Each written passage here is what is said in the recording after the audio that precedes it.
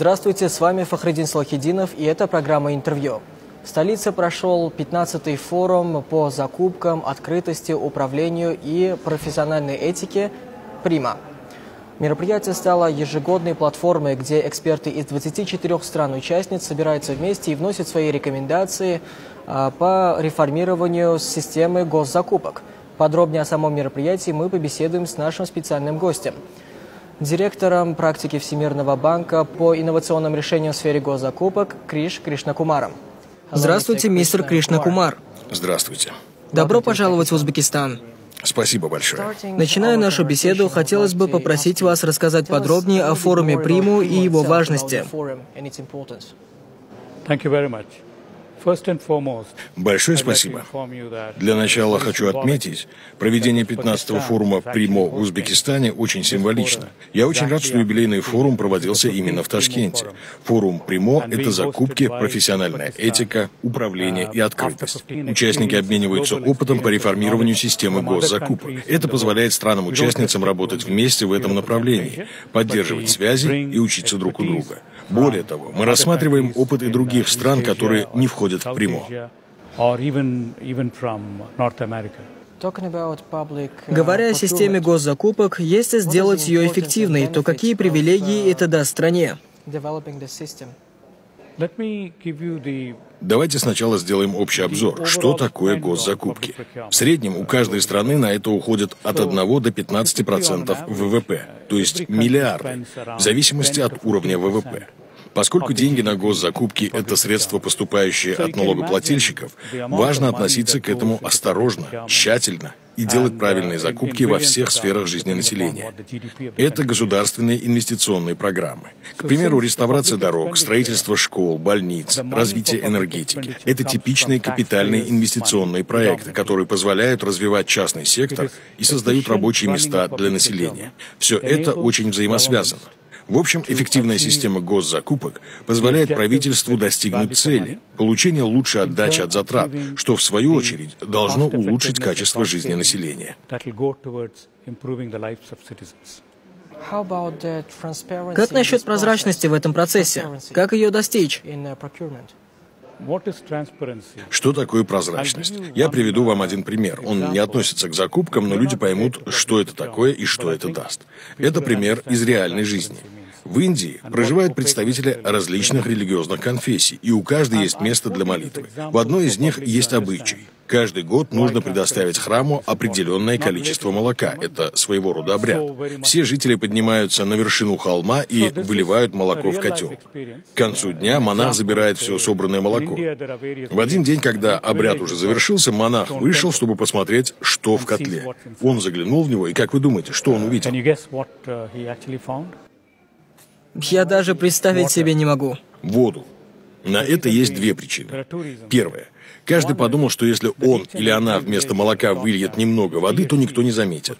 Вода смешается с молоком, и в итоге все равно никто ничего не поймет. Вы представляете себе? Каждый так подумал и сделал это. Котел был полон воды. Теперь подумайте, как можно было сделать этот процесс прозрачным. Если бы котел был сделан из стекла, можно было бы увидеть, что кто-то льет воду. Это классический пример, чтобы каждый понял, что мы имеем в виду под прозрачностью.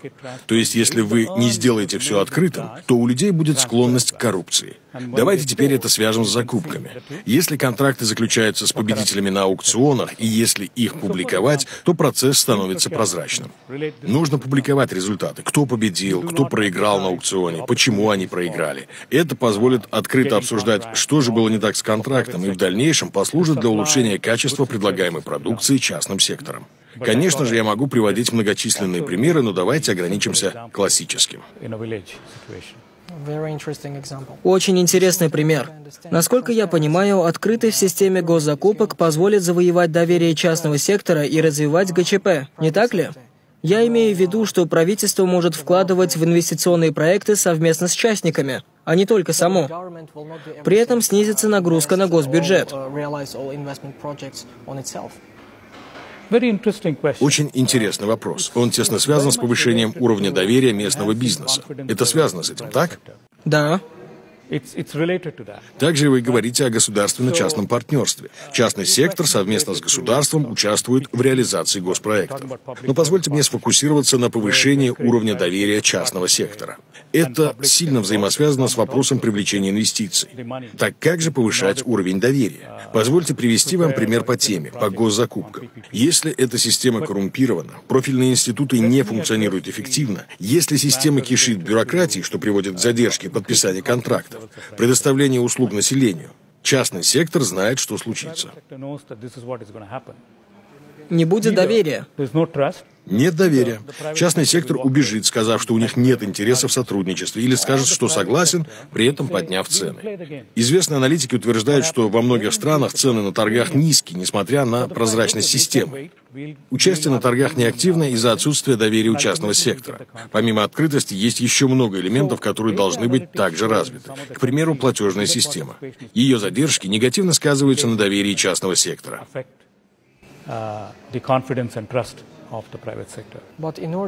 Но для того, чтобы избежать бюрократии и создать эффективную систему госзакупок, многие страны используют передовые IT-решения, инновационные проекты. Какие есть примеры из стран-участниц Прима?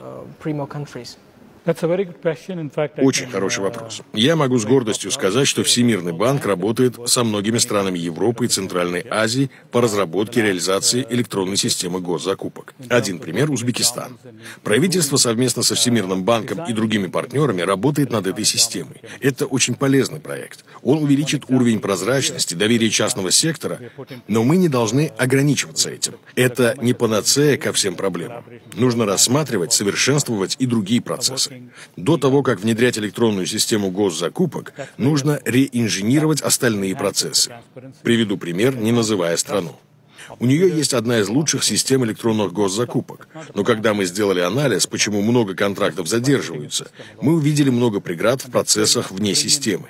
За системой госзакупок было много законов, приводящих к задержкам. Например, чтобы заключить контракт, зарубежная компания должна была зарегистрироваться в стране.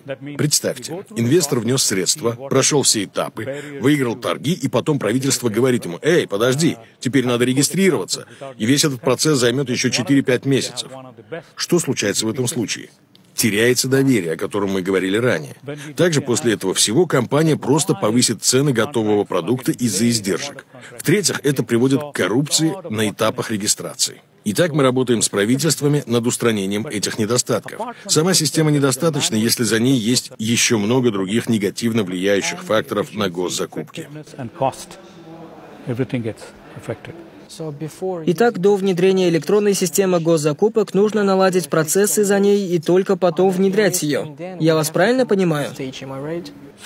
Точно. Нужен комплексный подход ко всему процессу. Я не говорю, что не внедряйте систему до решения всех проблем. Нужно внедрять систему и одновременно выявлять и устранять проблемы за системой.